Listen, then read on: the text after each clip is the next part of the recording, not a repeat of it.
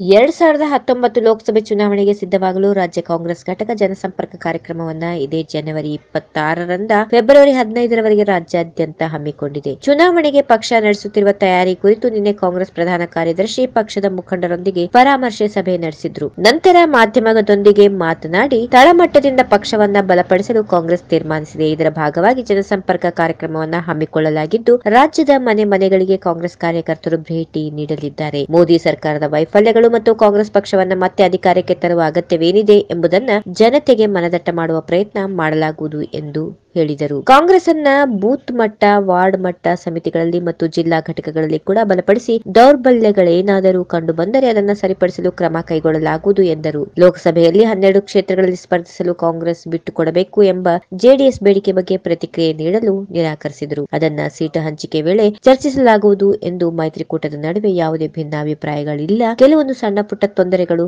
ಬಗೆಹರಿಸಿಕೊಳ್ಳಲಾಗುವುದು ಎಂದು ವೇಣುಗೋಪಾಲ್ ತಿಳಿಸಿದರು.